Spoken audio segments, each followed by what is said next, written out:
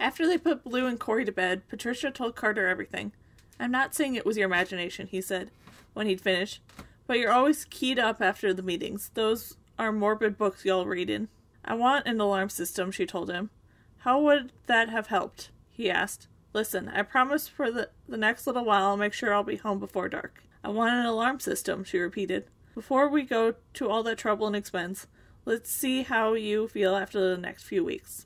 She stood up from the end of the bed. I'm going to check on Miss Mary, she told him, and left the room. She checked the deadbolt on the front and back and sun porch doors, leaving the lights on behind her, then went to Miss Mary's room. The room was lit by an orange glow of Miss Mary's nightlight. She moved softly in case Miss Mary was asleep, then saw the nightlight reflecting off her open eyes. Miss Mary, Patricia asked. Miss Mary's eyes cut sideways at her. Are you awake? The sheets moved and Miss Mary Claus struggled out, then ran out of energy and flopped down on her chest without getting where it was she was going. I'm. Miss Mary wetted her lips. I'm. Patricia stepped to the bed railing. She knew what Miss Mary meant. It's all right, she said. The two women stayed like that for a long moment, listening to the hot wind press on the windows behind the drawn curtains. Who's Hoyt Pickens? Patricia asked, not expecting a reply. He killed my daddy, Miss Mary said, and took the air out of Patricia's lungs. She never heard that name before. Besides which, Miss Mary usually forgot about the people who floated to the surface of her mind seconds after she'd spoken their names. Patricia had never heard her link the person to an importance together. Why do you say that? she asked softly. I have a picture of Hoyt Pickens, Miss Mary rasped in his ice cream suit. Her rugged voice made Patricia's scarred ear itch. The wind tried to open the hidden windows, rattled the glass looked for a way in. Miss Mary's hand found some more energy and slithered across the blankets toward Patricia, who reached down and took the smooth, cold hand in her own. How did he know your father? she asked. Before supper, the men and my daddy used to sit on the back porch passing a jar, Miss Mary said. Us children had our supper early and played in the front yard. Then we saw the man in the suit and color, color of the vanilla ice cream come up the road. He turned into our yard, and the man hid their jar because drinking was against the law.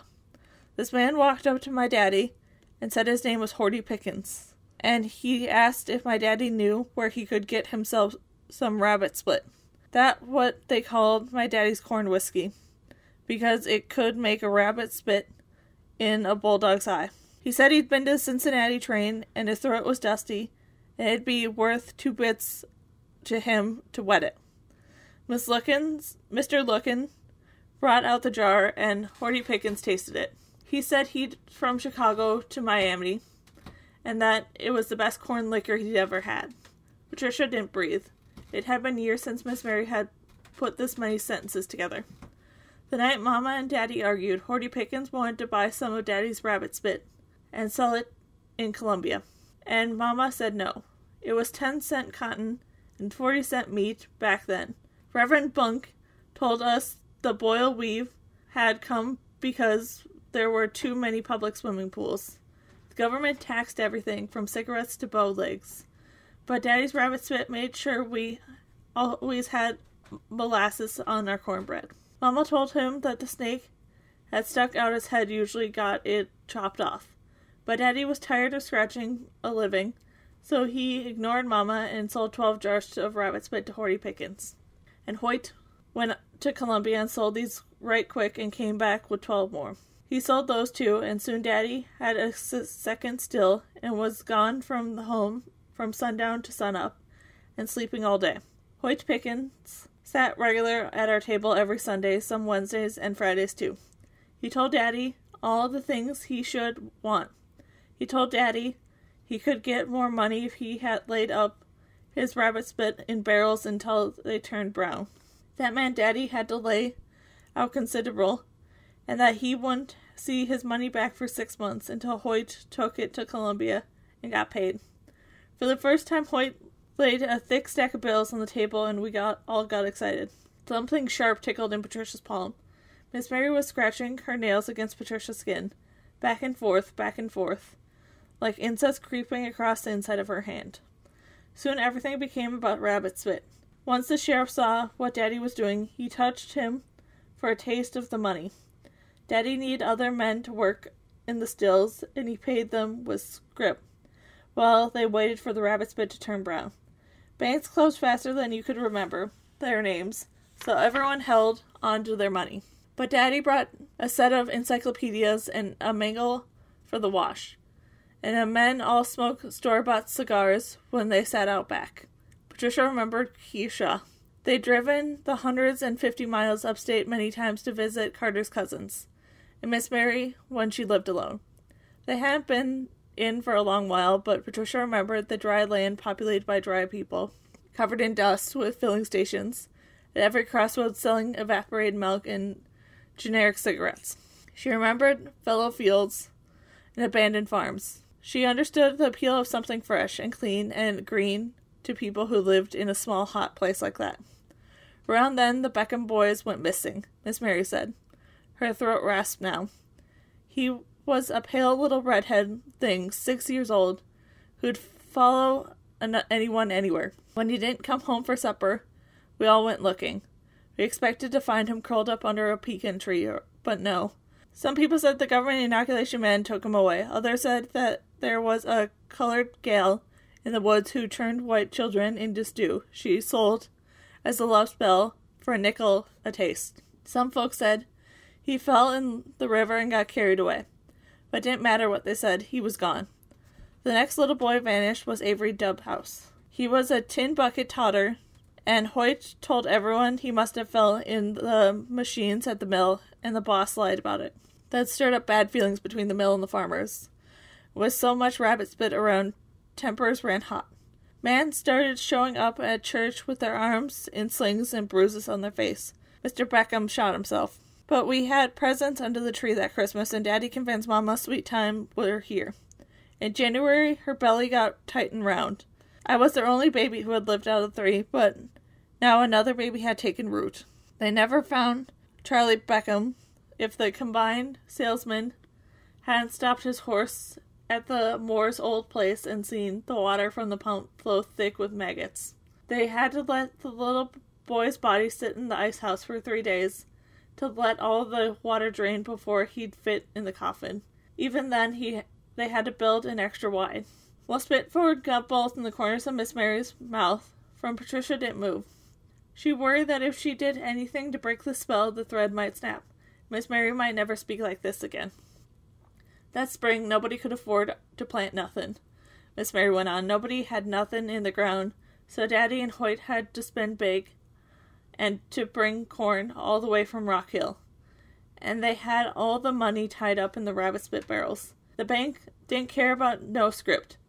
They started taking everyone's tools and their horses and mules, and no one could do anything. Everyone wait- waited for those barrels.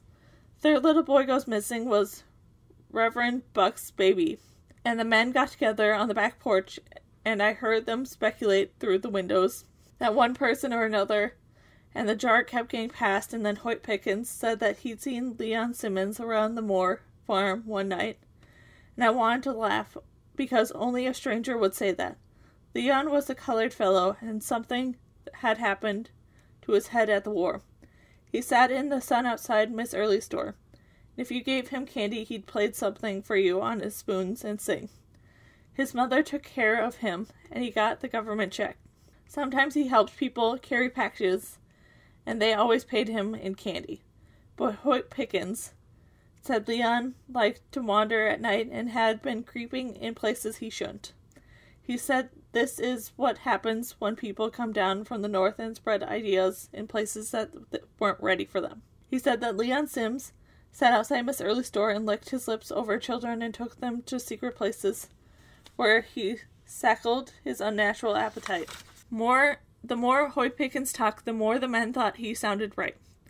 I must have nodded off because when I opened my eyes, it was full dark and the backyard was empty. I heard the train pass and a hoot owl carry out into the woods, and I was slipping back into sleep when the land lit up.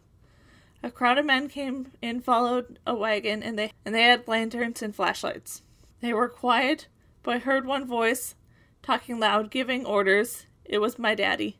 Next to him stood Hoyt Pickens in his ice cream suit, glowed in the dark. They pulled something off the back of the cart, a big burlap bag they used for picking cotton, and they lifted one end and something followed out wet and black into the dirt. It was Leon, all tied up with rope. The men get, got shovels. They dug a deep hole under the pe- peach tree and dragged Leon to it.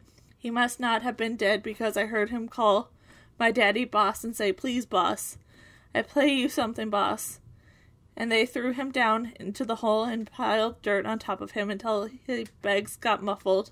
And after a while, you couldn't hear it anymore, but I still could. When I woke up early, there was mist on the ground, and I went out back to see if maybe I had a bad dream.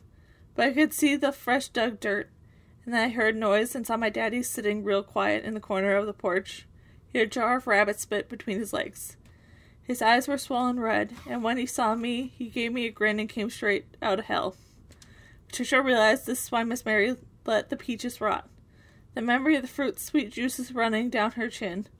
It meant filling her stomach now tasted sour with Leon Sim's blood.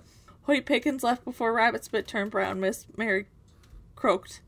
Daddy took the wagon to Columbia, but he couldn't find who he'd been buying from Hoyt.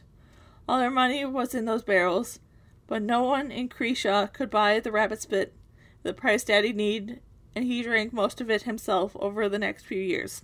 Mama lost my brother child. Daddy sold his stills for eating money. He never worked another day, just sat out back drinking the brown rabbit spit alone because no one would come by our place knowing what we'd buried there. When he'd finally hung himself in the barn, it was a mercy. When hard times came a few years later, some people said it was Leon Sims that poisoned the land, but I always knew it was Hoyt. In a long silence, water overflowed Miss Mary's twitching eyelids and ran down her face. She licked her lips. Patricia saw the white film coated her tongue. Her skin looked as thin as paper, and her hands felt cold as ice. Breathing sounded like tearing cloth slowly. Patricia watched her bloodshot eyes lose their focus and realized telling the story had set Miss Mary adrift. Patricia started to pull her hand from Miss Mary's, but the old lady tightened her fingers and held them firm. Night walking men always have a hunger on them, she croaked. They never stop talking, and they don't know about enough.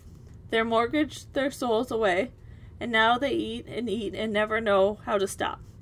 Patricia waited for Miss Mary to say something else, but her mother in law didn't move. After a while, she pulled her hand from Miss Mary's cold fingers and watched the old lady fall asleep with her eyes still open. The black wind pressed down on her house.